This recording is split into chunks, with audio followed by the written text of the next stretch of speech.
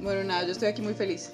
Muy feliz porque me encantan las cosas orgánicas, porque me fascinan las cosas hechas con alma, porque en cosas como el café y el chocolate se nota muchísimo el tipo de persona que la cultiva.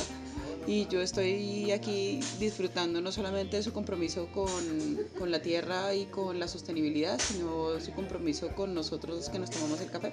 Entonces estoy feliz de tomarme un café orgánico del huerto. Salud. Salud.